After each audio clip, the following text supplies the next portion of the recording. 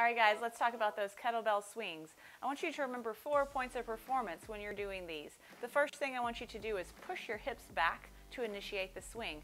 The second thing I want you to do is generate the power by opening your hips quickly. Remember, this movement is uh, created by generating power from your hips. The arms are just a follow through.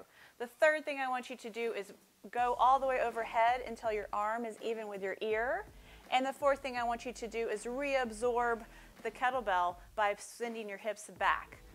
Also, I want you to always make sure that the object you're swinging, whether it's a kettlebell or a dumbbell, stays above the line of your knees. If we bring that object too low, we start to put too much pressure on the low back. Now try those at home.